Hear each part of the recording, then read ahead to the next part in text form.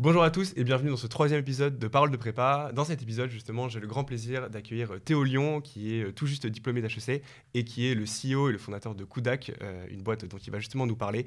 Et avec Théo, on a parlé de beaucoup, beaucoup de choses, de évidemment sa classe préparatoire, de ce qu'il en tire a posteriori et de tous ses projets un peu fous. Donc voilà, je vous laisse découvrir ma conversation avec Théo Lyon.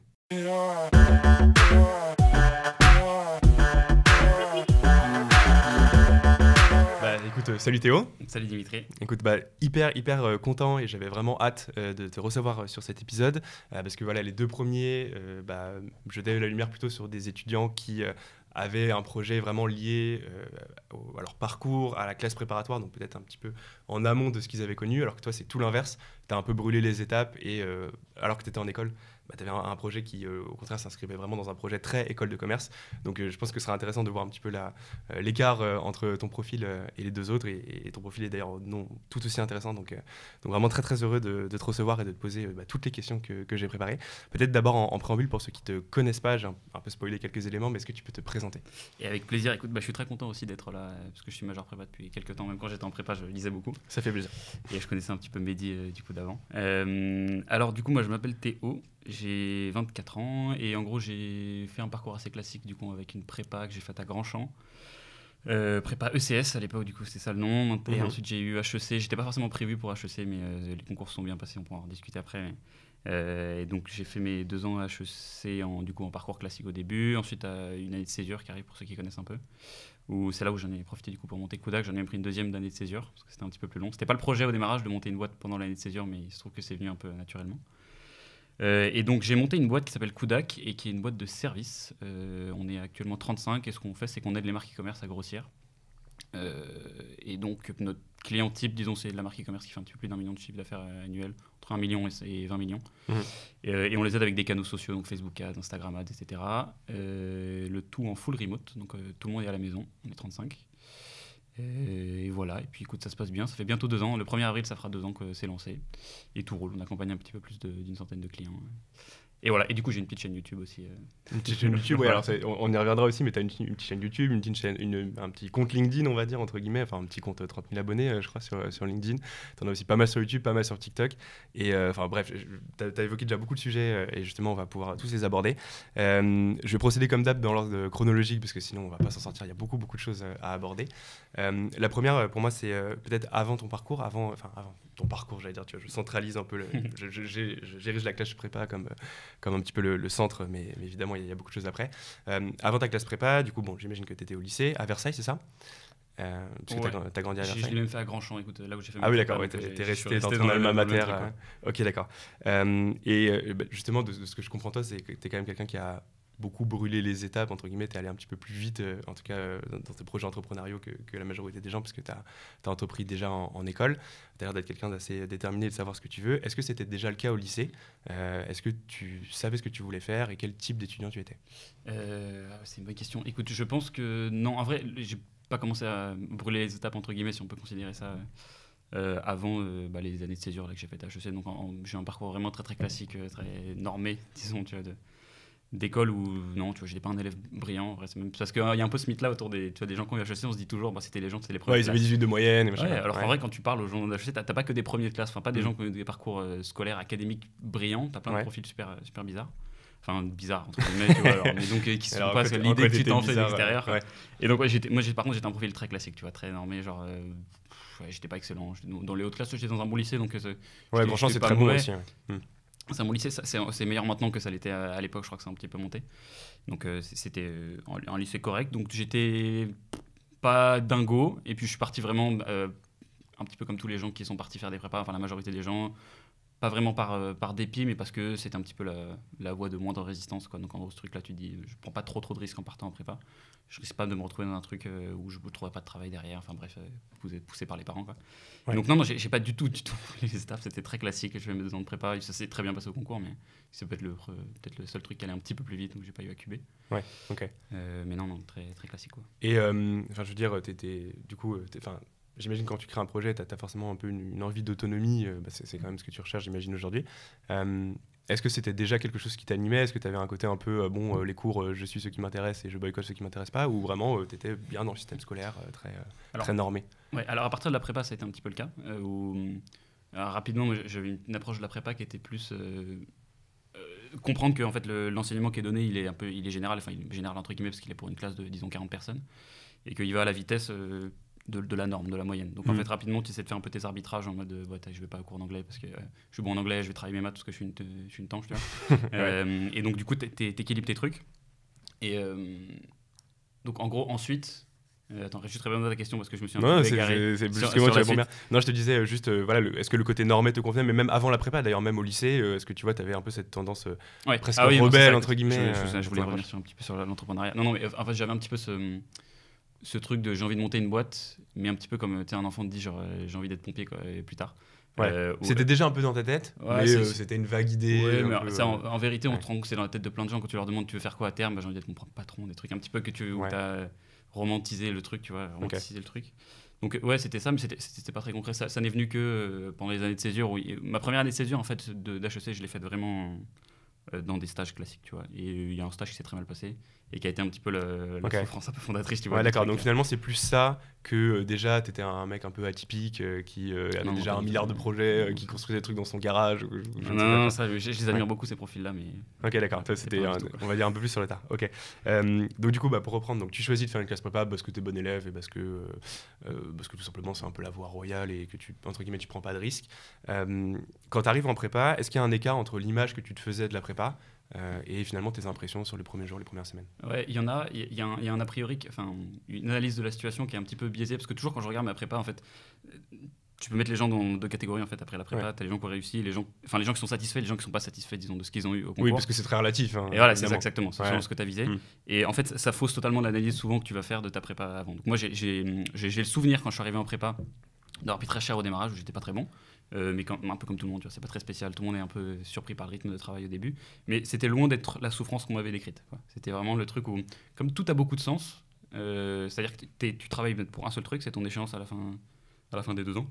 Euh, j'ai pas trouvé le truc pénible euh, dans le sens où j'ai vécu des trucs beaucoup plus pénibles où je travaillais beaucoup moins après. C'est typiquement cette expérience hmm. de stage. je, travaillais beaucoup moins, mais ça n'avait pas de sens en fait. Quand, les trucs, tu sais pas ouais, chaque, chaque, minute te paraissait une heure. Quoi. Et voilà, exactement, c'est ça. Hmm. C'est terrible. Alors qu'en prépa, mine de rien, tu es en train de. As un vrai challenge et les gens qui aiment bien ça, tu vois, ils, bah, ils essaient de s'organiser. Tu vas trouver un petit peu des edges là où tu peux. J'ai pris plaisir au truc et du coup, je m'en souviens de la prépa. Euh, comme un truc moins pénible que ce qu'on m'avait décrit et comme un truc où je ne regrette pas du tout d'avoir fait. J'ai même l'impression que maintenant, en entrepreneuriat, le fait d'avoir monté du coup, une startup derrière, te donne quand même un petit avantage comparatif si tu sais l'utiliser dans les, dans les bonnes façons pour en parler. Justement, ouais, c'est ultra intéressant comme sujet. on, en reparlera, on en reparlera effectivement. Euh, mais donc, du coup, ok, pour reprendre, donc, bon, tu, sens que le rythme s'intensifie, mais, euh, globalement, ça va. Euh, comment ça se passe aussi à Grandchamp Est-ce que tu as vu une vraie différence dans l'état d'esprit et dans l'atmosphère de la classe entre le lycée et la prépa? Ouais, c'est le truc dont tu te rends pas forcément compte quand tu es euh, dans ta prépa, mais quand tu arrives en école, tu te rends compte après quand les gens te racontent tes expériences de prépa, ou alors pendant que tu es dans la prépa et que tu parles avec d'autres gens qui sont à côté. c'est l'ambiance, du moins, au moment où j'y étais, du coup, moi j'ai passé mon concours en 2016. Ah, ça ne nous rajeunit pas. Hein. 2016, c'était vraiment ouf. Je crois que maintenant, bon, j'ai entendu des petits échos que le fait que ça avait un petit peu monté comme classement euh, depuis euh, Ouais, ça se passe bien, grosso modo, pour Grandchamp. Voilà, mm. euh, j'ai pas suivi précisément, mais du coup, c'était peut-être devenu un petit peu plus strict parce que nous, notre point de comparaison à l'époque, c'était, bon, ça l'est certainement d'ailleurs toujours, c'est les Stanislas, Henri IV, etc., mm. Louis le Grand, qui, qui étaient des prépas un petit, peu plus stricts, disons, compétitifs dans la façon dont on les décrivait, même si j'ai pas eu des retours si drastiques que ça par les gens que j'ai rencontrés ensuite en école. non, non, l'atmosphère était vraiment super en, en prépa parce qu'il y avait un phénomène assez cool, c'était que la compétition était jamais tournée vers l'intérieur, mais toujours vers l'extérieur. Donc, euh, tu n'étais pas en train de te tirer dessus euh, entre les autres. Ça, c'est vraiment le truc qui fait une énorme différence sur les deux ans que tu passes. Et donc, à l'époque, c'était super. Mais moi, j'ai eu une super expérience en prépa. Quoi. Et euh, au niveau de ta, progression, tu, tu disais que tu n'étais pas spécialement entre guillemets, destiné à HEC, genre tu n'étais pas le mec qui majorait absolument tous les DS. Est-ce que tu avais des points forts, des points faibles? Est-ce que tu étais plutôt homogène? Et comment s'est passée ta courbe de progression? Est-ce que c'était un peu chaotique ou vraiment très progressif? Tu sens que tu es monté en puissance au cours des deux années? Ouais, bah alors comme à peu près tout le monde au démarrage, je me suis fait poutrer sur les premiers. Euh, ouais, pour ça. le petit 50 mètres, tu fais plaisir. Voilà, tu, comprends un petit peu quels sont les niveaux d'exigence. Je suis mauvais, mais je, pense, je me demande limite si c'est pas fait exprès d'ailleurs, en fait, qui te fit un truc hyper dur au démarrage pour dire, ok, voici la marge de progression. et en fait, voici d'où tu pars. Mais ça peut être un peu violent parce qu'à Grandchamp, bon, effectivement, Grandchamp, c'est pas le groupe des Henri IV, le Grand, etc. Mais tu as quand même grosso modo plutôt des très bons élèves, quand même, hein, des mecs qui avaient 15-16 de moyenne facile euh, au lycée. et qui, ont, qui sont habitués. Enfin, je veux dire, euh, voir un seul chiffre et pas deux chiffres déjà dans leur, dans leur note fait sur tout 20, drôle, ouais. t'es là, ah ouais, ok, t'es t'es vexé, quoi. Tu Ouais. vois, c'est. Mais c'est bien parce que du coup, ça te fait partir un peu tout le monde. Déjà, ça te fait rabaisser. Tu, tu vas crever les égos dès le début. Tu te dis, ok, bah, t'es là pour charbonner. Euh, et donc, au niveau de la progression, j'avais pas de point fort. Euh, Enfin, je- j'avais beaucoup de points faibles. J'avais un point fort qui était l'anglais, le fait d'avoir fait les sections bilingues et tout le bordel avant. Donc, euh, ça me permettait de me libérer un petit peu de temps sur ces trucs-là. J'avais pas besoin de le travailler. Par contre, tout le reste, en fait, tu te rends compte que la philo, comme tu l'as fait en terminale, c'est pas du tout pareil que celle de la philo du. Ouais. Tu peux pas faire Mm. des trucs bateau, euh, thèse, antithèse, euh, synthèse, euh, ça marche pas. Ouais, réciter ton cours tout simplement. En fait. Voilà, tu ça, démontrer un trucs-là. truc. Maintenant, Ouais. tu dois un petit peu réfléchir. Mm. Et donc, du coup, finalement, ça m'a permis de rattraper le reste sur, le, sur les trucs. Il y avait des matières que j'aimais bien, qui, sont devenues avec le temps des points forts. Parce que ça, c'est un vrai truc qui fait, qui fait la différence sur long terme que j'ai, moi, j'ai remarqué. C'est que hum, quand tu arrives à trouver une petite partie, disons, d'une matière où tu prends un petit peu plus de plaisir que sur le reste, euh, tu- tu- ça peut vraiment, sur deux ans, parce qu'à l'échelle de deux ans, tu vois, c'est euh, 365 jours x 2 en termes de travail. Euh, si chaque jour, tu arrives à être un petit, un petit pourcent meilleur à la fin de l'année, tu vois, ça fait vraiment des trucs de ouf. Ouais. Euh, le calcul d'ailleurs sur un an, c'est genre si tu deviens 1% meilleur par jour, ça fait genre 3000 Je, je l'ai vu sur ton LinkedIn, c'est ça? 80% je crois, un truc Ouais, c'est ça. ouais. Donc ça fait 38 fois meilleur, donc ça c'est lourd. Donc vraiment essayer de trouver des petits trucs que t'aimes bien, tu vois, genre, euh, je sais pas, des thèmes, des, chapitres en histoire que tu kiffes ou des trucs comme ça, où tu vas aller lire des trucs que tu aimes bien. Et donc cette courbe de progression, en fait, elle a été vraiment assez ouf. Elle est pas linéaire, par contre, c'est ça les trucs qui sont un peu euh, compliqués à comprendre avant que tu sois dedans. Euh, moi, je l'ai pas vécu de façon linéaire du tout la progression euh, de mes notes. J'ai eu un gros gros déclic pendant la période de révision des concours, Hmm. où j'ai l'impression d'avoir compris les maths, en fait, tous les trucs que j'avais. Ouais, tu, prends, tu comprends enfin la big picture. J'ai réussi à organiser ouais, les ouais. trucs et j'ai fait ah Ah putain, ça c'est lié à ça. j'ai enfin compris comment ra- raisonner sur un sujet, donc j'avais que des notes de merde en maths et j'ai eu des bonnes notes au cours du coup parce que, en fait, à force de faire des annales, j'avais pris le truc à l'envers par moi. Tu vois, j'avais commencé Mm. par faire, les, je me suis dans une bonne prépa, je vais faire les annales d'HEC, ESCP et SEC Ouais. jusqu'en mars. euh, je comprenais rien, enfin, j'arrivais à rien faire. Et après, je me suis dit, bon, ok, je vais refaire tranquille les EDEC, les EM et tout, je vais les maîtriser. Quand je les ai maîtrisés, celle-là, ensuite, je suis passé sur les trucs un peu plus durs. Et en fait, tout ça m'a permis de réorganiser tous les trucs. Et donc, j'ai essayé un peu de brûler les étapes, qui n'est pas un conseil que je recommande vraiment. Ouais, c'est vrai. Mais nous, justement, on recommande plutôt l'inverse en majeure prépa de commencer par les EDEC, bien en plus qui sont voilà, des trucs hyper euh, cadrés, structurés, et après tu commences à te frotter aux HEC. Et, et je suis HEC. convaincu que c'est la meilleure pour méthode ça. en vrai, hein, pour le coup. Donc euh, ouais, la- et, euh, voilà, donc vraiment un- un- tu vois, une progression vitesse comme ça, ça descend, ça monte. Et tu- à l'échelle de la journée, c'est assez compliqué de se rendre compte que tu progresses. Ouais, c'est important aussi de regarder les trucs que tu faisais avant. Et, euh, et le gros euh, dans les révisions. Ouais, au moment vraiment de, des, révisions. Ouais. Et euh, euh, quelle approche tu avais Est-ce que c'était plutôt, ok, je veux absolument HEC, je sais pas trop pourquoi, mais je veux HEC parce que c'est la meilleure parce que ça correspond à mon projet Au contraire, tu étais, bah, c'est super intéressant ce que je fais, on verra bien ce qui arrive. Enfin, Est-ce que HEC était vraiment un phare dans la nuit pour toi dans la prépa ou, euh, Non, bah, en fait, tu as deux choses que tu compares euh, quand, quand tu fais tes objectifs, le- souvent en prépa, c'est que tu as ton ambition personnelle, donc tu as des gens qui arrivent, ils veulent acheter, c'est tout, c'était pas mon cas. Ouais. Et, euh, et la réalité du concours, et, enfin, de ta, place dans la concours blanc, disons, tu vois, donc de, de ta place dans la classe et un peu ce que tu sais que ta prépa fait comme, comme, comme résultat ouais. comme intégration, tu vas dire. Donc, euh, moi, rapidement, le truc là, sur l'ambition, je me disais, si j'ai une parisienne, c'est cool, c'est vraiment lourd. tu vois. J'ai un peu dans cette vision comme ça. Je voulais beaucoup le SCP. Euh, et le résultat du feedback du concours, euh, des concours blancs, me disait que ça serait un bon challenge d'avoir une parisienne. C'est-à-dire que je me voyais plutôt, j'étais entre. euh, Ouais, tu disais, je vais avoir entre. EDEC et. Si je fais une bonne perf, j'ai le SCP. tu vois. Ok. Euh, et donc, pour te dire, moi, j'avais, enfin, je m'étais quand même mis un truc à HEC sur mon bureau, tu vois, genre en mode avec une petite photo, avec comme Ouais. ça, des, Ouais, ouais, donc t'avais un peu ce. Ouais, après le premier concours blanc, je l'ai changé, j'ai mis les secs, tu vois. Mais c'est c'est une vraie histoire, c'est C'est vrai. énorme comme Ouais, anecdote. C'est vrai, c'est vrai. Ouais. Parce que c'est- c'était, tu vois, faut, essayer de caler le truc euh, pour que ce soit Ouais, mais au réalisable. final, entre HEC et les SEC, enfin, sur la barre des écrits, il n'y a pas une différence énorme. hein. ouais, ouais, mais c'était, c'était, je sais pas, c'était dans la tête, je me disais c'était tellement impossible en fait, parce qu'il y a un petit plus, euh, il y avait ces, Ouais, HEC, c'est le must du must. T'as l'aura, tu vois, ouais. quand t'es en prépa, tu Ouais. connais pas, t'as l'impression que c'est un truc de, ouf, tu vois. Mm. les HEC, ils, ils vont en hélicoptère à l'école, tu vas leur laisser tomber. Moi, moi, c'est vraiment, je, je rigole pas, hein, j'étais vraiment, je me disais, ma vie, elle est tracée, tu vois, quand t'es HEC, c'est bon. Ouais, ouais. Alors qu'ils vont en voiture à jouer en Joseph. Ouais, voilà, c'est Ouais, ça. ouais. Et quand ils ont une voiture, tu vois, c'est, c'est une arène de transport. Sinon, les c'est ouais. Et donc, non, non, du coup, tu vois, sur. euh, c'était, ouais, si j'avais une parisienne, j'étais content, quoi. Ok, d'accord. Et euh, ok, donc c'est c'est un peu le feedback que tu avais. Et donc, du coup, quand étais, tu disais, tu eu un peu ce déclic au moment des, des révisions des concours. Là, est-ce que c'était le même mindset euh, Ou est-ce que tu es arrivé en mode, bon, bah, de toute façon, j'ai fait mes, mes deux années de prépa à peu près correctement, à peu près sérieusement, advienne que pourra Enfin, C'était quoi ton mindset juste avant le début des concours? Bah, alors, j'avais le mindset de me dire, c'est peut-être un truc un peu bizarre, mais c'est pas grave si je refais une année. Je suis vraiment arrivé Ah comme ça, en me disant, Avant le, pour le premier jour j'ai encore une autre chance, donc je vais y aller tout pépouse. Et j'étais quand même super stressé, mais euh, j'étais pas stressé dans Tu le- les as passés où d'ailleurs, les, les concours? Je les ai passés à Hoche, à Versailles. Ouais. Donc, euh, dans les grosses salles, là, les trucs bien stressants. Qu'on a tous passé, hein, de toute façon. euh, Ouais, moi, c'était Ginette, euh, c'était pas Ouais, beaucoup Ginette, plus. c'est euh, grandes salles aussi, je crois, non? Ouais, c'est assez impressionnant, Ginette. Ouais, bien sûr. Ouais, Ginette, ça, ça a de la gueule, quoi. Et euh, Ouais, donc du coup, sur. euh, de quoi est-ce qu'on parlait?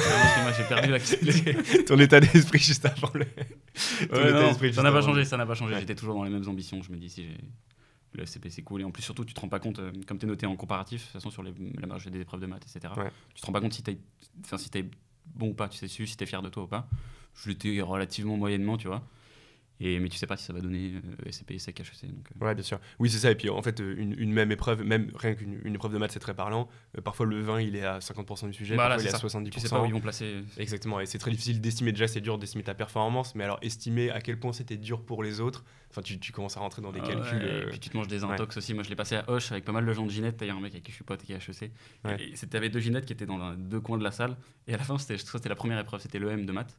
Il se- il s'app- il s'appelle comme ça, il fait Hey Je sais plus ce que c'était son prénom. Il fait Je l'ai défoncé. Tu vois Moi, j'avais j'ai une vieille note à ce truc-là. Et ça, c'était une grosse intox qui font. bah, c'était un mec. Ouais, c'était pour rire. l'ai appris pour rire. Mais, euh, mais du coup, ça m'avait un petit peu fait rire. Quoi. Ok, d'accord. Ouais, c'est sûr. Oui, c'est le contexte un peu de vache où effectivement tu as toutes les. Enfin, c'est incroyable hein, à Versailles, dans quelques euh, kilomètres carrés, tu as une concentration Ouais, de prépa, euh, de malades euh, assez dingue, ouais, effectivement. Euh, ok, donc, euh, donc voilà, ça c'est pour les concours. Donc les résultats d'admissibilité arrivent. Tu es admissible à HEC. Est-ce que tu es admissible partout d'ailleurs? Non, j'étais pas admissible à SEC. Ok, donc finalement ta photo, ça n'a servi à rien. Non, ça n'a servi à rien, c'est le seul que j'ai pas eu, tu vois, dans l'admissibilité. Euh, non, non, c'était une putain de surprise, je l'ai même pas appris par moi, tu vois. Enfin, on m'a appelé pour me dire. euh, J'ai juste même pas allé voir les résultats en fait. Donc, euh, Ok. là, je sais. Mais parce que pendant les. Enfin, du coup, la, la période qui précède les résultats d'admissibilité, tu as préparé les parisiennes quand même sérieusement Non, ou- non, non, pas du tout. Non, non, non. Enfin, j'ai préparé les parisiennes, donc entretien de personnalité, etc. Mais j'ai pas touché de culture générale, de, De maths et tout euh, géopo. euh, non, ouais. très peu. Ah, si, un peu de maths, parce que le CP, je me disais quand même, peut-être que ça Ouais, peut, ça ok. peut le faire. Donc c'était une vraie surprise d'être. Ah, euh, c'était une putain de surprise, je me souviens encore. euh, Ok. Et t'étais euh, t'étais dans le top 4. À l'époque, c'était 380 ou 400 380 encore? 383. Ouais, c'est ça. Mais ouais, bon, c'était aux admissibilités, c'était quoi, c'est 7 800, 700 C'était 700, un peu moins de 700, ouais. Ouais, c'est ça. Exactement à cette époque-là, ouais. Et du coup, c'était. Enfin, t'étais dans le premier. La première moitié, du coup, qui est en théorie admis, admis et in fine. Je crois ou- que j'étais sur la, sur la limite, j'avais 380 ou 300, entre 350 et 400 quoi. Ouais, donc tout allait jouer euh, au moment des euros, quoi. C'était- Que c'était t'avais partie- pas préparé euh, outre mesure, donc Ouais. c'était un peu chaud. Et euh, comment tu l'as vécu? Est-ce que tu dis, ok, c'est la chance de ma vie ou bon bah, je suis aussi admissible à l'ESCP. De toute façon, c'était mon objectif. euh. Ouais, j'étais, je dis, je, je vais dé- défoncer le SCP bien préparé, et puis je sais, écoute, ça, je commençais par ça en plus, moi c'était vraiment le premier truc que Ah j'allais oui. faire. Donc d'ailleurs, je j'ai rarement été aussi stressé sur trois jours que, que sur ce truc-là, parce que quand t'as rien préparé, t'es là un peu train d'essayer de te, te débrouiller comme tu peux. Mais du coup, Ouais. ce qui fait que paradoxalement, j'étais très très stressé, mais j'ai pas beaucoup de pression euh, d'attente d'attente de résultats. C'est-à-dire si je l'avais pas, ça, ça aurait pas été une surprise de pas Ok. l'avoir. Ouais, d'accord. Donc ça a dû jouer euh, une petite, petite différence qui a fait que je m'en suis sorti. euh. Et comment T'avais avais déjà été à HEC avant? Parce que je sais qu'à Versailles, souvent. Ouais, j'étais allé voir les, j'étais allé voir les euros, euh, Ouais, journée, ça, fait, ça- ça fait un peu le truc grandiose en mode et tu comprends pas, tu vois les gens qui se font cuisiner sur des sujets. euh, Ouais, et là, c'était toi à leur place, ouais. t'as un sujet à la con et t'as 10 mecs qui te regardent. Ouais, toi, comme tu, ça, joues, et toi, tu joues ta vie. euh, Ouais, non, mais c'est bien sûr, c'est c'est vrai que c'est très particulier quand même cette, cette ambiance euh, des, des euros d'HEC. Et alors, donc, quel souvenir t'en gardes de ces trois jours à part beaucoup de Ah, stress? putain, terrible. En vrai, je euh, pas, pas mentir, c'était vraiment terrible, terrible, terrible. J'étais stressé de ouf, pas beaucoup dormi. 12 euros par jour, euh, du coup t'en as 6 au total à passer. Je, je, bon, c'est tout, ça n'a pas dû changer ça par contre. Ouais, c'est c'est toujours pareil. Euh, ouais, non, vraiment très très mauvais souvenir. De, de beaucoup de stress et pff, je certainement des gens qui l'ont mieux vécu que moi. Et moi, c'était vraiment, j'avais Ouais. peur de, de me faire. euh, Parce qu'en plus, t'as du public et tout, j'avais peur de me faire humilier quoi. Ouais, c'est ça, ouais, vrai- le- la peur de se ridiculiser. Et puis, ouais, les, les jurys sont pas connus pour leur bienveillance. euh, Voilà. euh, ok. Et, euh, et des- je sais pas si, enfin, sans revenir sur toutes les épreuves, est-ce qu'il y en a une en particulier qui t'a un peu plus marqué Un sujet un peu what the fuck en, en culture générale ou un Alors, triptyque un peu hard? Je me souviens de mon sujet de culture G, c'était ne s'étonner de rien. Ouais. Euh, qui était finalement en fait pas si, si difficile que ça quand, t'as- quand tu comprends un petit peu le sens. J'avais eu la chance de lire une phrase qui était genre un étonnement qui dure, ça devient de l'admiration et donc j'ai fait toute ma, toute ma disserte sur ce truc-là. C'est les gens ils étaient oh putain Ouais. lourd et tout. genre, et donc je m'en suis sorti avec un vieux 13 ou un truc comme ça, tu vois. Enfin, Mais ce qui est bien, un- ce qui est, ce qui est très très bien. hein. Ouais, c'est pas un vieux 13. hein, Ouais, c'est pas un vieux 13 du c'est. Ouais. Euh, non, écoute, moi j'ai fait, à peu près moyen surtout. J'ai dû avoir entre 11 et 14 pour les meilleurs, tu vois, partout. Même en anglais et tout, j'étais fort. J'ai pas eu beaucoup plus. euh, Je crois que mieux en espagnol qu'en anglais, d'ailleurs. D'accord, donc t'as des notes assez cohérentes par j'ai- rapport à ton Il n'y a pas euh, de, de ok. trucs euh, par-dessus par -dessus tout. J'ai pas eu beaucoup de chance, j'ai pas eu des sujets faciles, des sujets durs. J'ai eu un truc. euh, Ouais, donc tu, tu dois- m'en plutôt un mauvais souvenir, un mauvais moment à passer. C'était un mauvais moment et je m'en Ouais. rappelle encore aujourd'hui comme un mauvais moment. Ça, c'est pour le coup le, Ok. L'après n'a pas changé. Mais qui finalement a porté ses fruits, c'est ça, puisque donc tu apprends que tu es admis à HEC. Donc finalement, t'es- ouais, tu finis euh, quoi, euh, 200, 300, un truc comme ça. Non, non, écoute, je finis euh, 110, je crois. En fait. Ah ouais, donc t'as vachement Donc, monté en fait. euh, Ouais, mais juste, en fait, alors, rien que avoir 12 ou 13 aux écrits, euh, moi j'avais. Ah oui, ouais, mais ça. c'est énorme, bien sûr, je pensais que t'avais des notes Enfin, faibles ouais, en, hein. oral, en oral, tu vois. bah, j'avais, je crois que j'avais 14 et demi en fait aux, aux écrits. Ouais. Ce qui, met- ce qui me mettait peut-être 350, ou un truc, bah, tu vois. Ouais, t'es, un- un peu, t'es pas mal au-dessus de la barre. Enfin, la barre est à 14, 14 8, Ouais. euh, 14 10 à un un moment truc donné. comme ouais. ça. Et, euh, et donc, du coup, le fait d'avoir 12-13 derrière, non, j'ai, ouais, j'étais 113, je crois, un truc comme ça. Ou un truc, euh. Ok. Ah ouais, donc t'es, ok, donc t'es bien remonté, t'étais, t'étais assez confortable. Ouais. Et t'avais pas forcément cette impression que t'avais défoncé les euros, quoi. Non, je savais que j'avais pas foiré, tu vois. J'avais Ouais. pas fait de grosses foirades, c'était mon objectif, juste euh, limite la casse. D'ailleurs, ça devrait un petit peu l'être pour tous les gens qui sont dans cette, euh, Ouais. dans cette zone-là, tu vois, en mode, euh, va pas tenter des trucs, tu vois. Ouais. j'étais pas, j'étais pas là pour tenter des trucs. Et donc, ouais. Ok, d'accord. Et, euh, et donc t'es admis à HEC. Et qu'est-ce que tu ressens à ce moment-là? Enfin, euh, tu, tu t'y Ouais. attendais pas? Est-ce que tu te dis, ouais, je, je suis l'escroc du siècle, j'ai fait le casse du siècle Ou au contraire, Ouais, c'est l'aboutissement de deux ans de prépa? Ça dépend de la façon dont je l'ai vécu. Moi, c'était un, un- tu, tu regardes ton, ton téléphone, t'as juste marqué hop, admis comme ça. Donc ça- ça a pas beaucoup- énormément de sens. Il y a putain trop lourd, t'as t'as travaillé pendant deux ans pour ça. Ouais. Mais après, tu le réalises avec les, les autres gens, tu vois, ta famille quand tu les appelles. Ouais. J'ai tout le monde qui a pleuré, tu vois. parce que c'était pas prévu, tu vois. donc, Ouais. euh, et, pour, et pour les parents, c'est quand même le truc en mode putain, c'est bon, le fils. ouf, Ça, c'est bon, c'est réglé, il va pas, il va pas dormir dehors. Ouais, mais c'était. Je sais pas si, si tu l'avais vu, on avait fait un live euh, cet été avec un, un gars qui s'appelle Tristan, on a fait une vidéo. Ouais, mais j'ai trop kiffé la vidéo. Elle Ouais, ouais, hein. elle, est- ouais, elle, a, elle a vachement bien marché. Et à un moment, je sais plus si on l'a mis dans la vidéo ou pas, mais à un moment, il, il appelle sa mère en direct, hein, Mm. genre en mode Skyrock, euh, tu vois. Et il lui dit Maman, je suis admissible à HEC, devant 400 personnes qui le regardent Ouais. en live. Et sa mère, c'est pas vrai.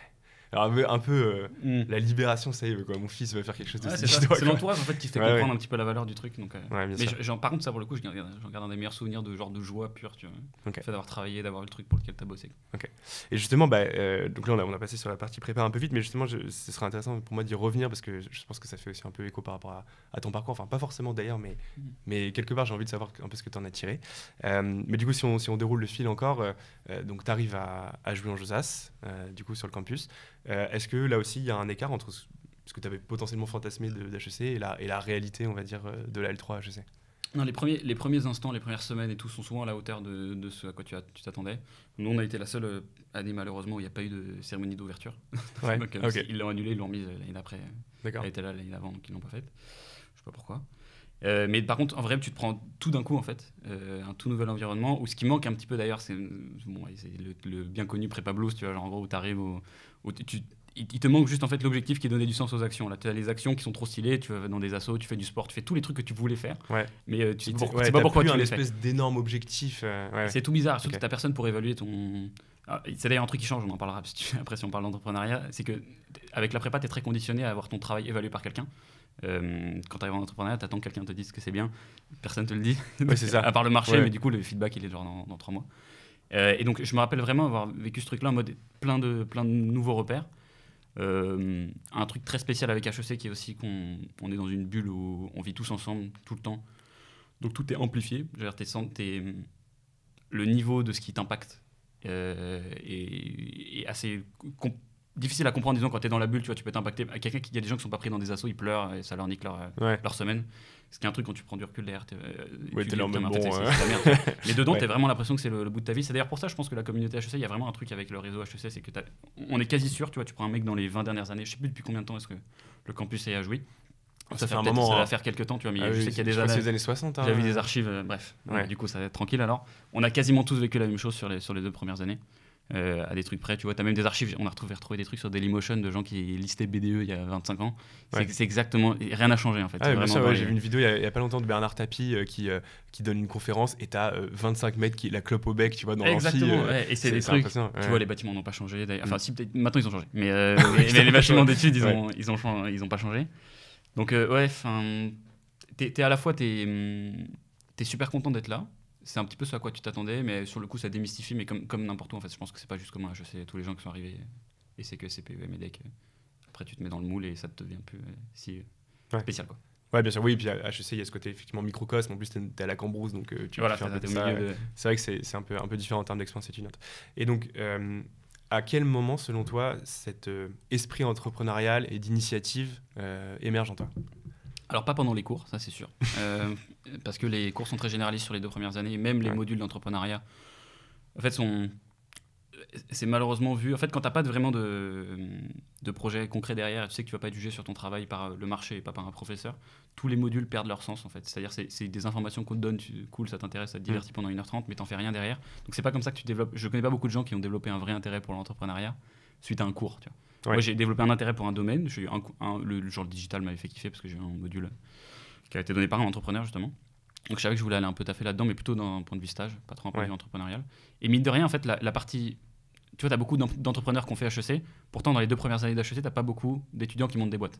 Ouais. Euh, tu en as très peu. C'est une, énorme minorité. Euh, moi, j'en connais quasiment aucun, en fait, en vrai. Oui, c'est ça, et c'est pour ça que c'est hyper intéressant parce que c'est HEC, euh, un des leitmotifs d'HEC, c'est l'entrepreneuriat. Mm. Et, c'est vrai, tu as tout à fait raison. Il y a beaucoup de profils types de mecs qui font trois ans de conseil, puis après créent leur structure. Et, des primo-entrepreneurs de quoi, tu as, 23, 24, 25 ans. Mm. En fait, il y en a très très peu finalement. Ouais, mais parce qu'en fait, c'est un petit peu d'ailleurs le, le, process qui se retrouve sur tous les, tout HEC, tous les cours, même le, à l'échelle globale les, des 4-5 années que tu vas passer sur sur le campus et dans ton enseignement, qui est je, je dois te former sur un truc. D'abord, tu dois faire ce truc-là avant d'être prêt pour faire cette autre chose. Et c'est un petit peu la mentalité. je dois faire du conseil avant de monter une boîte. Et c'est un petit peu la même chose. Ces deux premières années, elles sont pas faites c'est pas un succès si tu montes une boîte pour HEC et ça se ressent partout. Enfin, ouais. rien, bah, ne serait-ce que sur les, les, enquêtes, euh, enfin je veux dire, ils préfèrent mille fois, enfin entre guillemets mille fois, un mec euh, qui fait du M&A et qui gagne 80K à la sortie que toi, enfin mine de rien, euh, alors ça se passe plutôt bien pour toi, on va y revenir, mais mm. mine de rien, tu as, un risque fou quand même à entreprendre et surtout aujourd'hui avec tes frais de scolarité qui ont beaucoup augmenté, il bah, faut le rembourser quand même le prêt de, de 40-50 000 euros. C'est d'ailleurs un petit peu, c'est marrant, je parlais, on a un client qui est suisse et qui, qui expliquait, on, réfléchissait pourquoi est-ce qu'il n'y a pas d'entrepreneur en Suisse, parce qu'en fait le salaire de base est tellement haut que pour, avant de gagner ce que tu gagnerais dans un. c'est ça, c'est hyper dissuasif en fait finalement. Voilà, et bah, okay. je sais, c'est un peu pareil, c'est-à-dire que tu as à la fois cette, euh, un peu la, tour dorée, tu vois, en mode ok, bah. pourquoi je vais me casser le cul En vrai, je vais prendre un taf qui va être super bien payé, euh, monter une boîte, je sais pas. Par contre, sur la, notion de risque, en vrai, euh, entreprendre pendant les études, as quand même, le, risque est, quand même assez faible euh, par rapport à. Tu vois, je, compare. Euh, oui, parce que toi, en fait, c'est ça, ta boîte, là, tu viens tout juste d'être diplômé, ta boîte tourne déjà super bien. Est-ce que tu aurais fait la même chose? Exactement. Est-ce que j'aurais pris la même chose? Moi, j'ai la chance, la chance que je me rends compte de ne pas avoir eu de prêt sur le dos. C'est vraiment un truc de. Je, je, réalisais pas que c'était une chance, mais tous mes potes qui ont des prêts, en fait, ça, aurait changé. Je, prends avec le recul le nombre de décisions que ça aurait changé dans la boîte. Euh, on n'aurait pas du tout été pareil. J'ai cette chance-là, j'ai la chance d'avoir fait ça du coup pendant les études où finalement j'avais rien à perdre. J'avais une année de césure où, en vrai, j'avais validé toutes mes semaines de stage. J'étais là, il faut que je fasse un truc maintenant. Démarrage, je voulais faire. Euh, mon projet, la raison pour laquelle j'ai pris une deuxième année de césure, c'était pour faire joueur de poker professionnel. Ah ouais? Euh, Ouais, parce que j'avais fait ça du coup quand j'avais quitté mon stage qui m'avait pas plu là. Ok. Euh, mais finalement, du coup, j'ai commencé à faire un peu de freelance sur Facebook et ça s'est accéléré comme ça. Mais t'as pas vraiment de d'initiative à monter des boîtes, alors que le risque est assez faible, mine de rien. Tu, vois. tu peux trop t'amuser, faire des projets, plein de trucs. oui, c'est clair. En, en fait, c'est exactement ça. Et, justement, c'est au-delà de ton cas particulier, j'aimerais beaucoup avoir ton avis à ce sujet-là. c'est que tu as quand même un paradoxe qui est énorme qui est qu'en prépa, euh, tu as un objectif qui est hyper euh, clair dès le début. Bon, bah voilà, c'est avoir la meilleure école possible. Euh, c'est limite si le prof de maths te dit pas, vas-y, tu fais tel exo de tel anal pour préparer tel sujet, etc. Donc, tu as un objectif ultra précis et tu es ultra cadré dans la manière d'y parvenir. Et malgré ça, tu as énormément de prépa qui veulent créer des boîtes. Tu en as beaucoup qui, enfin, parmi les, les, très gros entrepreneurs, tu te rends compte qu'il y en a quand même beaucoup qui ont un profil prépa grande école. Alors que c'est littéralement l'opposé. Quand tu crées une boîte, personne ne te donne d'objectif. Enfin, on te dit même pas ce que tu dois atteindre et on te dit encore moins comment y parvenir. Et comment t'expliques un peu cette, cette propension des prépas à à la fois être hyper cadré pendant deux ans et d'un coup, bah, justement, être attiré vers un, vers un peu le, vide. Vas-y, mon grand, débrouille-toi. Ouais. Bah, déjà, il y a un truc, c'est que c'est très compliqué d'enseigner genre la créativité avec un enseignement qui est standard, tu vois, en école de commerce. Donc, euh, finalement, s'il y a un truc, il faut bien comprendre en fait c'est quoi l'incentive d'une école de commerce. Qu'est-ce qu'il doit faire Tu as, plein de choses. Est-ce que c'est remonter dans les classements? Est-ce que c'est faire en sorte qu'ils aient des gros salaires à la sortie? Et comment est-ce que moi je maximise en tant qu'école de commerce euh, ce résultat-là? Et en fait, dans la majorité des initiatives d'école de commerce, tu n'as pas trop intérêt à former des entrepreneurs, du moins sur les premières années. Tu vois. Euh, ça, t'arrange bien qu'il y ait marqué HEC derrière euh, quand, quand, ils montent des boîtes 5 ans après. Mais en vrai, toi, tu as intérêt à, à voir des gens qui sont hyper cadrés, académiques qui vont partir en conseil en stratégie qui sont excellents pour exécuter. C'est des, bêtes d'exécution. Mm. Euh, qui, ont, qui savent raisonner sur des trucs. Et c'est d'ailleurs ça, c'est le gros avantage qui est construit par les écoles de commerce, qui est un inconvénient quand tu veux monter une boîte au démarrage. Mais par contre, si tu sais l'utiliser après en entrepreneuriat. Ouais, oui, parce que c'est aussi la startup, c'est des méthodes, c'est aussi bien Tu deviens injouable. Tu deviens vraiment putain d'injouable. Si tu deviens une brute académique et une brute d'exécution, euh, qui est le truc qui est un peu compliqué à apprendre. Tu vois, exécution, créativité. En gros, comment est-ce que tu Enfin, je parle d'exécution. L'exécution est différente entre le conseil en stratégie et celle qu'on te demande en entrepreneuriat. En vrai. L'exécution est vraiment, c'est comment est-ce que tu avances vite sans euh, passer dans des process, euh, passer 40 ans à faire des slides et tout, tu vois. Et, euh, et comment est-ce que tu évolues sur un, sur un- une table blanche, tu vois, euh, à, à table rase. Comment est-ce que j'évolue Comment est-ce que je me fixe mes propres trucs C'est toi qui vas t'auto-évaluer tes trucs ou alors le marché. En vrai, je pense que c'est un truc qui vient plus tard, quand tu as un peu taffé ton, ton projet. Et s'il y a un truc qui est commun aussi avec pas mal d'HEC, c'est c'est la partie ambition. Et à moi, la partie ambition, elle va se heurter à, à des, des trajectoires de carrière qui sont un peu linéaires. Parce que même si tu gagnes beaucoup d'argent en conseil en strat, en finance et tout, euh, la trajectoire, elle est linéaire, c'est- elle n'est pas exponentielle. Tu vas toujours vendre ton Mm. temps pour de l'argent. Ouais. Et ils se rendent compte que si tu veux passer à l'étape d'après, à un moment, il va falloir euh, prendre un petit risque euh, et essayer d'aller monter un truc qui va être plus exponentiel que linéaire. Ouais, ok. Ouais, ouais, non, mais c'est vrai, t'as as, cet, cet écart-là qui, qui est assez. Peut-être encore plus flagrant d'ailleurs à HEC, euh, où effectivement, tu as quand même des perspectives. Enfin, tu as un peu cette autoroute un peu HEC où tu fais du conseil et, ou du MA, et puis après, tu verras bien ce qui se passe, qui est peut-être un petit peu moins vrai dans les autres écoles où, où c'est plus Mm. compliqué d'accéder à, à ce type de carrière. Euh, donc, du coup, toi, c'est pas du tout ton cas en l'occurrence. Euh, Est-ce que tu peux nous raconter du coup comment ça s'est passé, Kudak Donc, je comprends pas très bien comment t'es passé de j'aime pas mon stage à je veux faire du poker à je crée un business dans les réseaux sociaux, mais tu vas nous expliquer ça. Je vais la- Et une autre question aussi subsidiaire, est-ce que les réseaux so- sociaux pardon, t'ont toujours attiré? Est-ce que tu étais le genre de mec qui avait un, un Insta, un profil Facebook, même à titre personnel un peu actif Ou t'es tombé dans cette marmite-là un petit peu sur le tard Non, non, non, parce que non, euh, pour répondre à la seconde question avant la première, euh, non, pas du tout. Euh, absolument pas. Moi, je suis plutôt naturel introverti. D'ailleurs, c'est un truc que j'ai appris avec les réseaux sociaux, c'est que les gens qui réussissent le mieux sur YouTube, c'est pas les extravertis. Ouais, c'est marrant C'est les raison, ouais. C'est parce qu'en fait, c'est pas un truc de gars sociable, c'est un truc de parler à une caméra, tu vois, comme ça, genre, tout seul. Et donc, Ouais. en fait, t'es tout seul chez toi, tu fais tes trucs, et les gens croient, putain, il est super sociable, ce mec. Mais bon, bref. Donc, non, pas du tout. Ouais. Euh, et voilà, donc ça a été un truc qui est venu après. Euh, et la première partie de ta question, que évidemment j'ai oublié, comme euh, tu, tu comprends. Mais en fait, il faut que j'arrête de te poser deux questions en même temps parce que c'est ça, c'est ma spéciale et en fait, c'est en fait, C'est bon, c'est bon, c'est bon, c'est bon, très bien. on parlait de, ouais, voilà, de comment on est passé du stage, poker, etc. sur la suite. Euh, donc je suis parti, mon premier stage était à Paris. Euh, J'étais product owner chez Meilleur Agent, c'était super. Et ensuite je suis parti en Australie, du coup faire dans une agence de pub, enfin pub digitale. Ça, c'est la deuxième partie de césure. Voilà, C'est ta exactement. première césure. Deux fois six mois en Ok. un an. Euh, je pars en Australie pour un stage qui devait durer six mois à la base, donc je me retrouve dans une agence de 5-6 personnes. Euh, où ça se passe pas du enfin, très mal, il n'y a pas de sens, je fais des tableaux Excel et tout, je, je comprends rien, à un moment je, bah, je décide de me barrer. Ça se passe mal parce que c'est pas conforme à ce que tu voulais faire de ton temps, quoi. deux choses. C'était pas, euh, je me rendais pas compte. Je croyais que c'était conforme à ce que je voulais. Je, je Ouais. croyais vraiment que ce, que je- ce dont j'avais envie en fait pas du tout. Et j'étais Ouais. très mauvais en fait. C'est-à-dire qu'on m'a dit des, des phrases vraiment. On m'avait raconté la vraie phrase, c'est euh, les, les HEC d'habitude ils apportent plus que ça. Ah oui, Ah, on ouais, m'a dit ça. Ok, en termes Ah, de violence, on est. Donc ouais, euh, c'était un peu le truc. Donc au bout de deux mois et demi, je suis parti comme un comme un sagouin, vraiment comme euh, sur un mail euh, un dimanche soir. non, un truc que je referais pas que du tout comme ça, bon, qui, se trouve bien terminé derrière. Mais Et ça, ça te mettait pas en difficulté par rapport à ta césure non, bah, j'avais pas ouais du tout pensé à ça, mais il se trouve que j'avais validé à la semaine près en fait le nombre de semaines, de semaines qu'il fallait que Ok. Donc t'as eu un peu de chance dans ta. donc, nickel. Ouais. Nickel. Et ensuite, je me dis, j'avais déjà commencé un petit peu, bon, j'étais un petit peu dans une période, c'est un rébellion, donc je me dis, va, je, je, jouais déjà un petit peu au poker, j'aimais bien un peu la partie théorique, etc. euh, du, du jeu, donc je me dis, bah écoute, c'est quoi, je vais essayer de vivre du poker, je joue déjà beaucoup. Et donc j'ai passé euh, bah, peut-être entre 16 et 18 heures par jour au casino. En, en Australie? En Australie, ouais, et en. Australie, puis après en ligne en France, Ok. où je gagnais mon argent comme ça, euh, en taffant les, la théorie et tout, et en prenant de l'argent à des gens qui savent pas jouer. Ok. Parce que c'est globalement ça, c'est d'ailleurs la raison pour laquelle j'ai arrêté aussi. Parce que Oui, moralement, bon, c'est quand même oui, un peu chaud. En termes de sens, alors c'est peut-être très plaisant au poker, mais en termes de sens, euh, bon, c'est pas. Le, le sens est éclaté, tu passes 18 heures au casino avec, des, avec des poids euros qui, qui sont dans des machines à sous toute la journée, c'est les mêmes à 8h et, et à 23h. c'est horrible. Donc, euh, donc j'ai fait ça.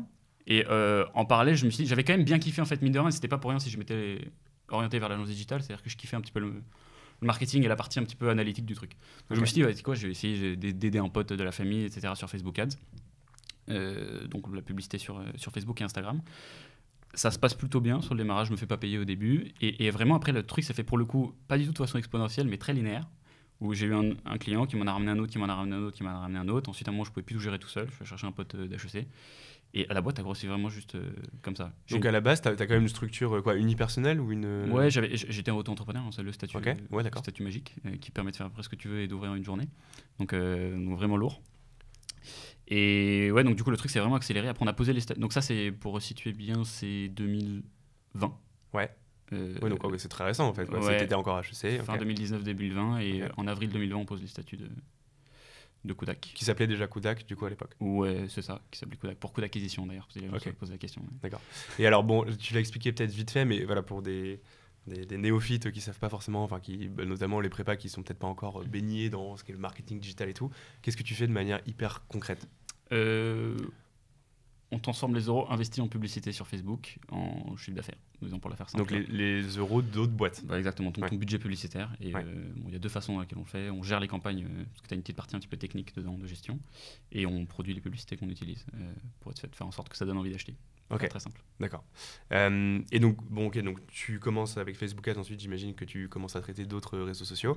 Et en fait, tu te retrouves du coup propulsé à la tête d'une entreprise, bon, de deux personnes de ce que je comprends au début. Et après, bah, dans quelle mesure tu, déjà tu veux que ça grossisse et dans quelle mesure ton petit projet comme ça, euh, presque unipersonnel, euh, prend l'ampleur euh, bah, qu'on lui connaît aujourd'hui? Ouais, alors il y a eu un seul, un, un seul truc très enfin, déterminant, c'est hum, bah, l'ut- l'utilisation des réseaux sociaux, pas pour la partie publicitaire, donc quel service qu'on rend aux clients, mais Ouais. vraiment pour nous en termes de communication de marque, et principalement LinkedIn. hein, où dès que j'ai découvert LinkedIn, ça. J'ai fait 3-4 posts, j'ai rapidement vu que tu pouvais toucher 2000-3000 personnes à l'époque, Mm. du coup, euh, sans payer, rien du tout. Je me suis dit, ok, bon, bah, personne maintenant, je fais plus que ça. Ok. Donc, euh, Et ça, c'était pendant la deuxième année de césure de Ouais, dès qu'on a un petit peu avant de poser les statuts Kodak. Les statuts Kodak datent d'avril 2020. Ok. Euh, j'ai commencé à travailler avant les, avant les statuts en janvier. Quoi. Donc, Et donc euh, tu savais que tu allais consacrer à ce projet-là ta deuxième année de césure Ouais, bah, ça se passait bien et que je me disais j'ai rien à perdre, j'ai rien à valider et je, je gagne de l'argent surtout. Il y avait surtout ça aussi. Je gagne de l'argent, Ouais. je gagnais très très bien ma vie en fait avec 2-3 clients. Tu, vois, tu peux, Ouais, parce que t'as aucun coût, euh, en fait, c'est ça. Ouais, c'est de l'argent qui rentre et il n'y a pas d'argent qui sort. Voilà, c'est ça, c'est le service. Bon, après, t'as as des frais un petit peu cachés sur le service d'ailleurs, c'est un peu. T'as du frais. Mais hum, non, mais je, je gagnais vraiment des trucs, des sommes. euh, J'avais 21 ans, je gagnais 8000 euros par mois, tu vois, des trucs, euh, des trucs, enfin net, qui, qui est des trucs de, de ouf.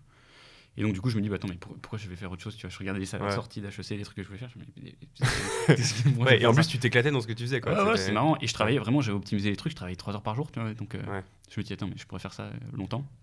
Et à l'époque, tu as ce mythe où tu crois que tu vas faire, bah attends, je vais faire un, un business lifestyle, on en a parlé juste avant, tu vois. alors, Ouais. Est-ce que tu as ce choix Est-ce que je fais un gros truc ou est-ce que je fais un truc où je, je Ouais, ça. Ouais, parce que tu aurais très bien pu euh, bosser 3-4 heures par semaine euh, avec tes euh, 8000 balles par mois, ce qui est quand même euh, juste incroyable, Ouais, même la ouais. sortie de HEC. Et en fait, non, t'es pas- c'est pas le choix que t'as fait. Ouais, et, et c'est là où c'est une bénédiction, de- enfin, bénédiction entre guillemets d'avoir fait HEC parce que ça te laisse cette possibilité-là, tu vois. Genre, euh, le vrai avantage HEC, pour moi, le vrai truc que vendent euh, HEC et les écoles de commerce, c'est genre, euh, genre l'exposition à l'ambition, tu vois, ce truc de fait. Ouais. Rien que sa- savoir que c'est possible. En fait, quand tu sais pas que, quand tu sais pas qu'un truc est possible, c'est très très dur de s'imaginer le faire, Ouais. de trouver un chemin pour y arriver. En fait, HEC, l'ambition, elle est, elle est normalisée, tu vois. C'est normal. Ouais, tout le monde est ambitieux, quoi. Ouais, t'es déjà, même le mec le moins ambitieux, c'est quoi Il veut faire, euh, il veut être, il veut faire 10 ans chez, en conseil en stratégie. Enfin, j'en sais Ouais, rien. ouais. Tu vois, il veut être directeur marketing. C'est Ouais. des trucs où le, le- les normes. personne te dit qu'il qu'il va avoir un poste subalterne, entre Ouais, quoi. sont, complètement euh, dé- déformés quoi. Et du coup, Mm. tu- ta, ta référence est beaucoup plus haute. Et tu dis ok, je vais faire une belle boîte. Bah vas-y, bah, il faut que j'ai, je sais pas, j'ai 100 personnes d'ici, d'ici, Ok. d'ici 3-4 ans. Ouais, d'accord. Euh, et donc tu voilà, tu, con- tu continues comme ça. Et du coup, moi, je- c'est cette voie que j'ai choisi de faire parce que déjà, ça me faisait marrer aussi, tu vois, de faire Ok. grossir le truc. Et c'était un petit peu, c'était surtout un, genre un peu un doigt d'honneur, tu vois, parce que je faisais un petit peu la même boîte que celle que j'avais quittée. Donc, Ouais. euh, et Ouais, donc, je suis capable de le faire moi-même et d'apporter beaucoup à ma propre boîte. Voilà, voilà. Donc en fait, c'est ça, tu tombes dans l'entrepreneuriat, bah, pas malgré toi, mais enfin, t'étais pas un, un- un mec euh, un peu, entre guillemets matrixé par l'entrepreneuriat depuis ta, ta plus tendre euh, enfance. Et donc tu te retrouves, euh, tu te retrouves là-dedans. Et donc suite à ça, tu décides de faire le master XHEC, donc XHEC entrepreneur du coup. Euh, est-ce que c'est simplement parce que tu dis bon bah maintenant que je suis entrepreneur autant faire ça? Ou est-ce que tu dis que ça allait vraiment t'apporter quelque chose? Euh, puis ta boîte enfin quelle était la réalité de ta boîte à ce moment-là? Parce que du coup tu te retrouves confronté à un truc où tu as quand même un, un bébé qui a bien grossi et en même temps bah, tu es toujours étudiant en fait Au moment où commence le master, je crois qu'on avait 6 employés. Enfin, on était, on était 6, Ok. 5 ou 6. Et je fais uniquement, bon, c'est pas une raison très glamour, je fais vraiment ce master parce que je dois le faire, je dois valider mon année. En fait, si tu le fais pas euh, depuis HEC, bah, t'as pas ton diplôme. ouais et tu Là, voulais être diplômé d'HEC quand même Bah, euh, non, moi non. Ça aurait- ça- ça- ça- non, mais ça aurait fait vraiment un Ouais. putain de coup de pub en plus. Je pense que honnêtement, ça aurait, ça Ouais, aurait je, été- je- ouais, sur LinkedIn, je ça aurait fait un truc. HEC, euh, non, mais ça aurait renforcé un peu la, la marque personnelle, tu vois, de- qui est le truc qu'on utilise pour grossir la boîte. C'est pour ça que c'est utile. Ouais. Euh, mais malheureusement, ça n'impliquait pas que moi. Euh, Malheureusement, j'ai pas payé mon école de commerce, donc j'ai un devoir un peu envers les Oui, tes parents, payé, ils ont un peu. euh, Comment ils voyaient ça d'ailleurs, tes parents, en mode de, ok, Ah bah, je passe flippent. de. je suis en stage en Australie, à je deviens joueur de poker, ah, en fait, je gagne 1000 balles par mois, de, de la pub en B2B. Enfin, tu vois, c'est un, ouais, peu- un peu décousu, je sais pas ce que font tes Ouais. parents, mais c'est une vie un peu décousue quand Ouais, même. ouais, bah, bah, en fait, ils ils l'ont. Je pense que ça a dû être un peu euh, flippant pour eux, mais ils m'ont toujours laissé faire les, les trucs, donc euh, ça, c'est vraiment un truc. Ouais, ils avaient confiance en toi, quoi. Ouais, c'est lourd, c'est ça. Euh, confiance, je sais pas, mais en tout cas, il va, il va s'amuser au pire.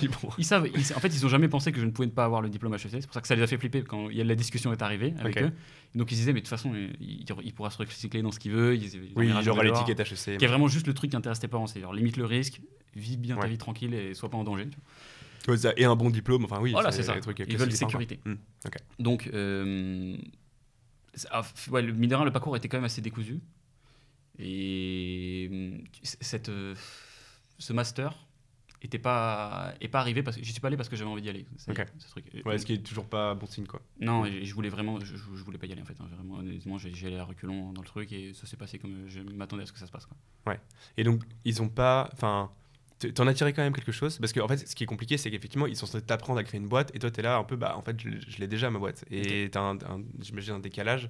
On, en a parlé d'ailleurs avec Yasmine, du coup, euh, la, la dernière qui est passée euh, à, à ce micro-là et qui, elle, a un projet entrepreneurial encore un peu embryonnaire. Donc, elle dit que ça lui apporte énormément. Mais du coup, t'étais dans un cas euh, bah, radicalement opposé aussi, en fait. Tu as plusieurs choses. C'est que, en fait, c'est le master est très bien tout court, en absolu, il est très bien. Et euh, il il est encore mieux pour certains types de personnes. Ouais. Euh, J'arrivais malheureusement un petit peu trop tard pour que ça soit utile. Et donc, en fait, le, le décalage et le fait que la boîte progresse plus vite que ce que m'apprenait le master euh, fait que ça a rendu la majorité des cours désuets. Euh, et que j'avais pas forcément. Il y avait certainement plein de choses intéressantes dedans et que je suis pas allé prendre. Mais euh, j'ai dû faire un arbitrage entre est-ce que j'attribue mon temps à ma boîte ou, ou essayer d'apprendre des trucs qui peut-être me seront utiles. Et en fait, le truc, il était vite fait, donc maintenant, j'ai pas mis beaucoup de mien. Mm. J'ai- Je suis allé au minimum de trucs pour pouvoir valider les choses. J'ai quand même respecté le, le deal pour avoir le diplôme. Je fais le mémoire et tout. Euh, mais tu, tu vois, je pense que c'est un, si tu veux une introduction à l'entrepreneuriat, c'est super. Mais en fait, il n'y a aucune attente de résultat avec ce truc-là. C'est-à-dire Ouais. que tu montes une boîte derrière, il y, y a quand même un truc assez choquant sur suis entrepreneur, c'est que sur une promo de 100 personnes, t'as as genre à peine une dizaine de boîtes qui sortent. hein. Euh, Ouais. genre, Ouais, mais après, t'en as beaucoup, j'imagine, d'intrapreneurs ou des gens qui vont rejoindre des grosses startups. ou des gros cabinets de conseil. Et ouais, aussi beaucoup. Et t'en Ouais. as beaucoup qui partent là-dedans. Donc en fait c'est- l'entrepreneuriat étudiant. En fait, tu juges pas des entrepreneurs, tu juges des étudiants qui sont intéressés par l'entrepreneuriat. Et c'est une putain d'introduction pour parce que ça ça te fait ça te fait x10 sur tes chances de devenir entrepreneur derrière. Mais ça te garantit pas d'avoir une boîte qui fonctionne. Et donc en fait tu, tu ne veux en tirer ce que tu de ce master que ce que tu veux vraiment en tirer. Euh, de ce truc-là. Moi, j'ai pas voulu en tirer grand-chose. Euh, malheureusement, j'en ai pas tiré énormément. Mais pour certaines personnes, tu vois, je pense pour un cas d'une personne qui est intéressée par l'entrepreneuriat, tu vas quand même te faire un réseau, etc. Enfin, c'est des trucs peut-être que j'ai pas encore réalisé le bénéfice de ce que ça m'a apporté. Je le réaliserai dans 5-10 ans. Euh, et donc ouais, c'est un putain de master, mais pas pour tout le monde. Ok, ouais, je comprends. Mais c'est vrai que c'est un peu.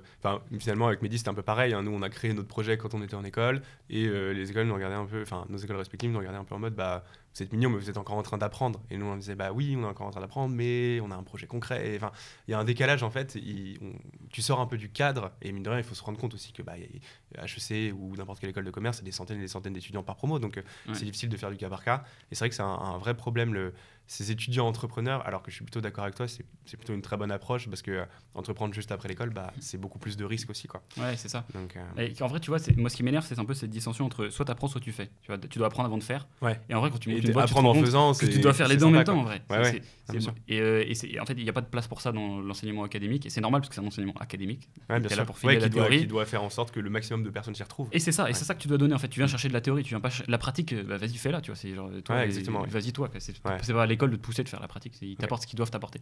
Et alors, bah, justement, la transition est tout trouvée puisque tu me parles de ce que tu as apporté euh, ce master-là et HEC de manière générale. Euh, donc, en tout cas, à minima, beaucoup d'ambition et, euh, et effectivement, parce que côté euh, très. euh, bah, je suis avec euh, toute une kyrielle de personnes qui sont quand même intéressées par, euh, par l'entrepreneuriat ou par, euh, par tous ces sujets-là. Euh, néanmoins, qu'est-ce que tu tires à l'inverse de ta, de ta classe prépa, justement? Euh, Alors. Parce que, enfin, c'est ce que je disais, a littéralement rien à voir. Ouais. Et pourtant, ce que tu me disais un peu en off, c'est que, bah, avec du recul, finalement, tu en as. Je quand même tiré quelque chose. tire beaucoup plus de choses que l'école de commerce, par exemple, je pense. Pas pour, pour mon taf actuel. Hein. Tu vas tout mettre en. Ouais, non, bien sûr, je parle vraiment de, En de- perspective, de, Kodak. euh, Mais même, enfin, les deux sont. Ta vie et Kodak sont tellement un- un- intrinsèquement liés que finalement, je pense que Ouais. les deux sont intéressants. En fait, ce que tu apprends en prépa, ce qui est cool avec la prépa, c'est que même si tu fais une mauvaise, pré- enfin une mauvaise entre guillemets prépa selon toi tes, tes critères de, de, De de réussite. ouais. satisfaction, tu vois, t'es pas très satisfait de ta prépa, tu as quand même dû passer deux ans à bosser pour un objectif, euh, devoir t'organiser un petit peu comme possible, développer des et tout. Et ce truc-là, c'est un truc qu'inconsciemment, tu es capable de réactiver à peu près comme, tu veux. Pas de façon aussi. Pas, certainement pas aussi bien que ce que tu faisais en prépa, tu vois, de, te poutrer la gueule jusqu'à minuit pour travailler tes, tes DS de maths. Mais par contre, il y a plusieurs choses que j'en ai tirées. La première chose, c'est l'approche théorique des sujets. On, chie beaucoup dessus en entrepreneuriat parce qu'on dit la pratique, la pratique, la pratique. En vrai, c'est ça dont je te parlais quand je disais que c'est un, avantage comparatif vraiment de ouf d'avoir tout ce background académique, c'est que tu capable d'avoir un raisonnement logique sur des sujets et de décortiquer des trucs, particulièrement avec ce que tu apprends. La philo, les dissertes de géopo et tout. Enfin, moi, des trucs que j'ai eu qui m'ont beaucoup aidé là-dessus. À structurer une approche, à pas de jeter tête, tête, Ouais. tête baissée dans les sujets. Tu dis, ok, peut-être que ce truc-là, c'est pas. Si tout le monde fait comme ça, c'est peut-être pas forcément une bonne idée. Donc tu décortiques le truc, boum boum, tu fais tu, sais- tu sais cadrer Ouais, les une approche très rationalisée d'un truc assez complexe où il y a Voilà. plein de facteurs à prendre en compte. Quoi. Donc ça, c'est vraiment Ouais. le principal truc. Je pense que c'est 80% de ce que j'ai tiré, c'est être capable de décortiquer des sujets et avoir ce background académique. Et en fait, tu réalises quand tu montes une boîte et que tu rencontres des gens que beaucoup de gens ne l'ont pas, ce truc. Et, Ouais. et- et c'est ça, en fait, c'est pour ça que le, le conseil en stratégie, c'est la, c'est- la, la conséquence logique de cette prépa. Ouais. C'est parce qu'on te demande de faire exactement la même chose, mais différemment, tu vois, avec des, des Ouais, sur plein de sujets. En fait, c'est ça, finalement. Mais tu vois, il y a une, une critique qui est su- su- super euh, souvent formulée à la guerre de la prépa qui est ouais, ça formate. Tu vois, c'est le mot vraiment, ouais, ça te met dans un format, un moule, machin. Mais en fait, c'est tout l'inverse. Pour moi, ça te donne un cadre de réflexion Mm. que tu peux appliquer à absolument tout et n'importe quoi. Et justement, le conseil en strat, c'est euh, euh, tu as une mission de six mois où tu vas étudier le marché euh, du pneu au Pérou et après euh, le marché euh, du lait bio euh, au Japon. Et ça n'a rien à voir, mais tu vas toujours appliquer les mêmes types de méthodologies que tu as acquises un peu en fait. Ouais, et tu développes le seul truc qui a de la valeur en vrai, c'est Ouais. Enfin des méthodes et une des façons de penser, qui est le truc que tu vas garder dans toutes tes expériences différentes en fait. Parce que tu dis ok, je sais faire de la pub sur Facebook, etc. Ça, ça s'apprend, tu vois. C'est par contre la Ouais. façon dont tu raisonnes sur le truc, qui va te permettre de craquer les autres sujets, ça c'est un truc. T'as passé deux ans à le développer. Ouais. Pour quelqu'un te rattrape, il va falloir qu'il fasse les deux mêmes années que toi. Ouais, Donc, comprends. donc tu arrives avec un avantage. Donc je dirais que c'est le principal truc. Euh, ensuite, tu as évidemment bon, le- le- euh, l'éléphant dans la pièce qui est la capacité de travail. Où, enfin, tu, où tu sais que tu sais le faire, ça veut dire que tu vas le refaire, mais Mm. tu sais que tu es capable de le faire et de, de t'organiser. tu vois. Et tu as été un moment, tu as eu un moment plus de tâches qui sont venues vers toi que tu avais de temps disponible dans ta journée. Ouais. Et ça, tu as des gens qui le découvrent en entrepreneuriat ou même euh, dans leur taf derrière. Et donc, tu as dû au moins commencer à te pencher sur ces sujets-là, et donc ça fait que tu vas gagner un petit peu de temps au début. Moi, c'est les deux principaux trucs, donc organisation et euh, rationnel- enfin, euh, approche rationnelle des problèmes. Quoi. Ok, hyper clair. Euh, alors, on a dit déjà énormément de choses. J'ai encore pas mal, enfin, allez, deux, trois questions vraiment Ouais. qui m'intéressent. On, on pourrait parler évidemment, on a, finalement, on n'a pas été assez dans le cœur de ta boîte, mais, mais je pense qu'évidemment, il y a d'autres podcasts aussi qui, qui peuvent le traiter beaucoup plus centré sur l'entrepreneuriat. Moi, c'était plus sur, sur ta, ta définition, un peu ta philosophie autour de l'entrepreneuriat et, et de la réussite et, et tout ça. Euh, la première que- question que je voulais te poser, c'est que euh, tu le disais justement en introduction, euh, euh, alors j'avais même noté les chiffres, tu vois, j'ai préparé l'interview, euh, 30 000 abonnés sur LinkedIn, euh, 12 500 sur YouTube, 12 600 sur Insta, 70 000 sur TikTok aussi, t'as pas mal percé sur TikTok, mais euh, les comptes qui ont percé, c'est Théo Lyon et c'est pas euh, qui, euh, pour le coup, euh, ta boîte en tant que telle a beaucoup moins d'abonnés sur ces différents réseaux. Est-ce que tu as l'impression qu'aujourd'hui, l'entrepreneuriat doit être vraiment hyper incarné, où finalement il y a une, confusion totale entre la boîte et le CEO, le, le mec qui porte le projet, ou est-ce que c'est vraiment juste inhérent à ta boîte et c'est comme ça que ça s'est fait?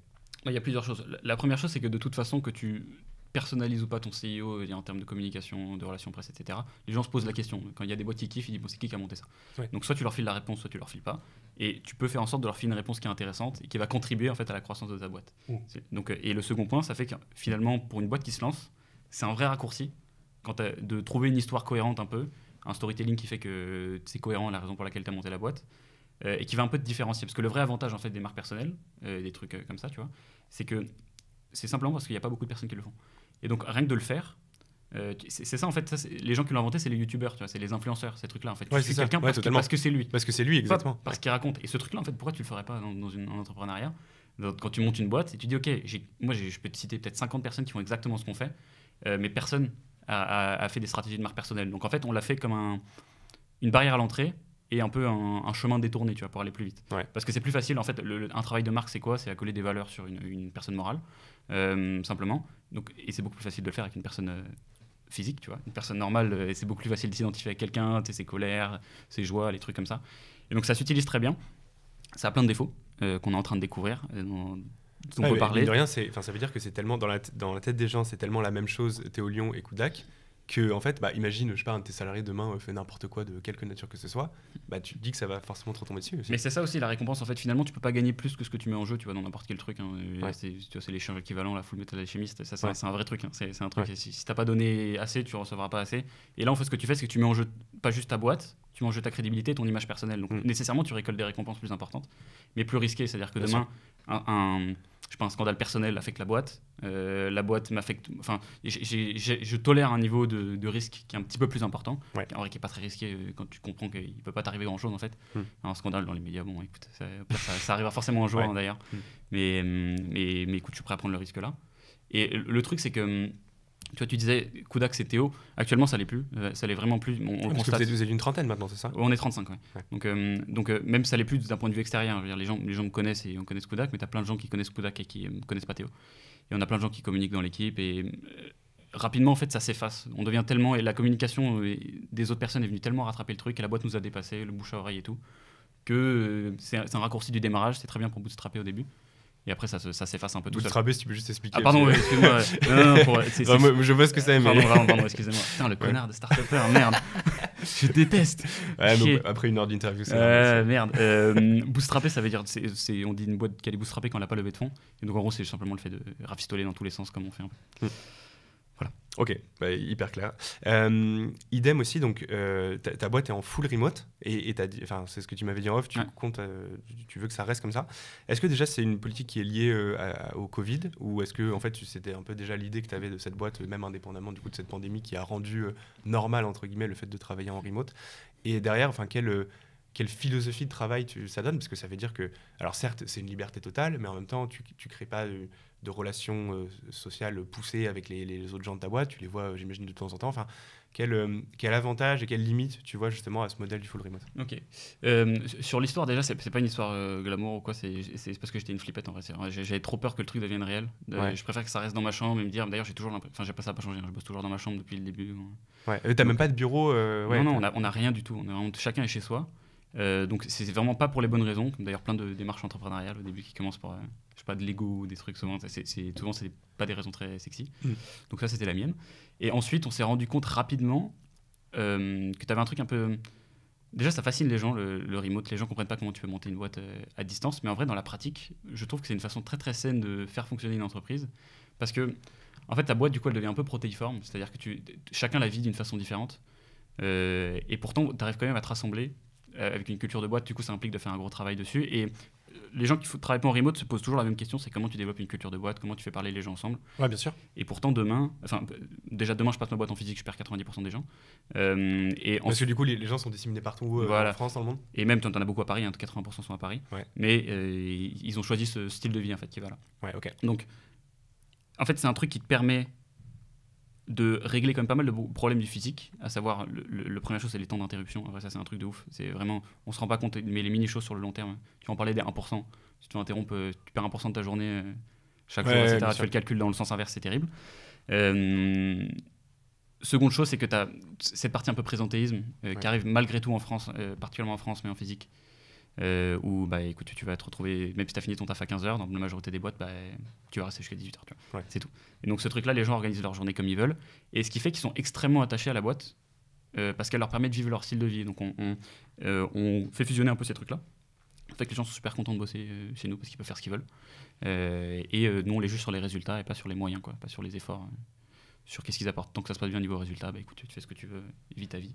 Ouais. Et on a prévu de voir jusqu'où va tenir le modèle. Je suis assez confiant sur le fait qu'il tienne bien, au moins jusqu'à 100 personnes. Et on verra.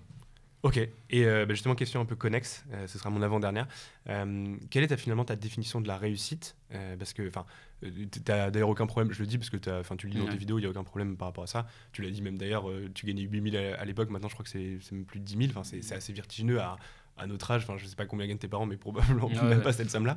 Euh, Est-ce que pour toi, c'est. Enfin, comment tu vis ce côté un peu. euh, bah, même pour des HEC, c'est un peu vertigineux de se dire que tu touches des, des sommes comme ça.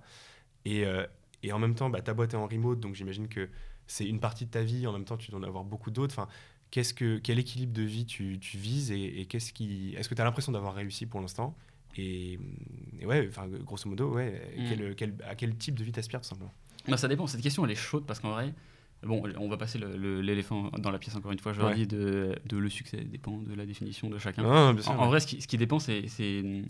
Ce qui fait la vraie différence, c'est ta métrique d'optimisation. Tu vois, c'est quoi C'est comme quand tu as une fonction. Tu vois, c'est quoi la variable et c'est quoi ce qui sort de la, de la fonction. Ouais. Et en fait, selon, selon la métrique, tu te dis plein d'exemples. Tu as des gens, leur métrique d'optimisation, c'est le temps. Je veux faire en sorte que mon temps, euh, je passe le moins de temps possible à travailler, donc euh, mon rapport temps argent gagné soit le meilleur possible.